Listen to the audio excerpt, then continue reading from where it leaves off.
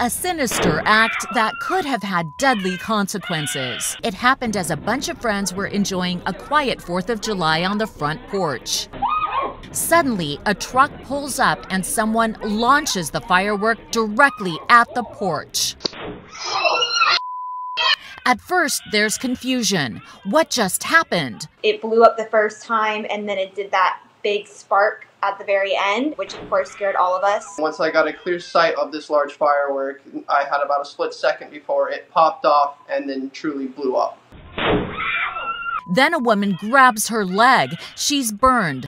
Watch the man in the red t shirt take off in pursuit. But the big concern the little ones. You okay? Hey, you okay? I went and helped with the kids that were there, make sure that they were okay. Police are continuing to investigate who was behind it. And look at this shocking moment when a barrage of fireworks was thrown at a police car in Des Moines, Iowa. Fortunately, police are able to weave their way to safety. In Dana Point, California, another mishap.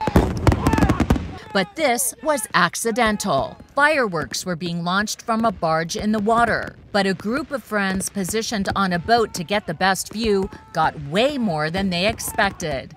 The boat was on the water right behind me, and the passengers say they were within the designated safe zone.